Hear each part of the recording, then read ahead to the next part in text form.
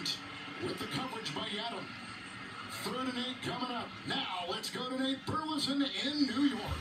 What's up, Kev? I'm locked in. Hey, I appreciate you earlier, man. You know, when one person drops the ball, another one picks it up. Speaking of that, you got Derrick Henry. He's going to pick it up right here and take it in. He breaks the tie with Franco Harris and Jerome Bettis for rushing touchdowns in his career. The Ravens are up 23-13. Back to my my guy, Kev, that can do it all. I am your partner,